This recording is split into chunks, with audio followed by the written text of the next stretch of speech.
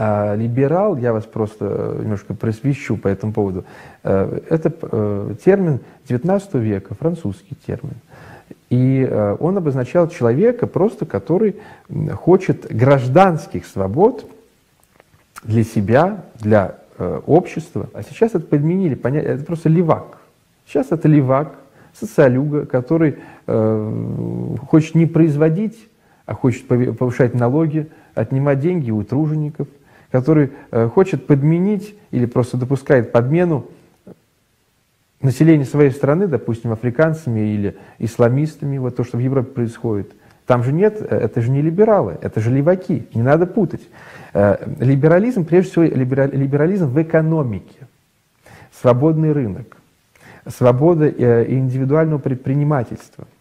А какая может быть Э, свобода индивидуального предпринимательства при 60-70% налогов, из которых большая часть идет, чтобы кормить оккупантов. Вот эти, которые э, пришли просто миллионами э, Европу оккупировать. Да? Так что нет. И опять-таки права человека, которых кричат либералы, права человека это самое главное достижение цивилизации, самое важное. Это прекрасно. Но надо понимать, что кто в эту игру играет та часть мировой цивилизации, которая доросла до этого понятия, она играет, а другая, скажем так, на юге, она не доросла, она не будет в это играть. Она будет э, нагло вещами какими-то пользоваться, вас не уважать, жить за ваши деньги и еще э, на вас нападать. Что не надо путать. Э, последние десятилетия вот эти социолюги, леваки, они захватили, экспроприировали понятие и либерала, и прав человека. Да?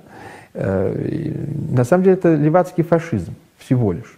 Поэтому надо разделять исконные понятия либерала, и я либерал, потому что я за свободу э, в экономике и за свободу личности, и э, вот этих леваков, которые не за свободу личности, потому что я, например, ничего не могу такого сказать в Европе, мне сразу говорят, ой, значит, вот ты против прав человека, как же ты не хочешь, чтобы у нас тут жили миллионы исламистов? Да я не хочу этого.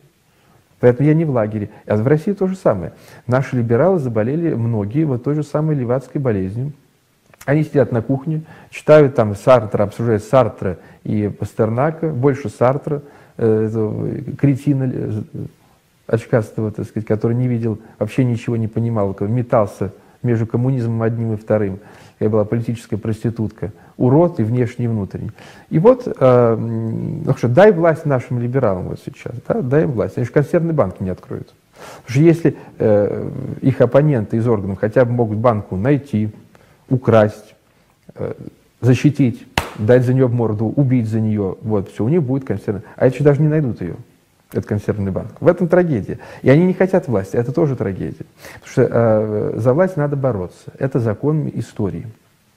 Вот должны прийти люди с либеральными взглядами на экономику, на свободу личности, но не больные э, вот этим климаксом, вот этим либеральным, э, так сказать, псевдолиберальным левацким фашизмом.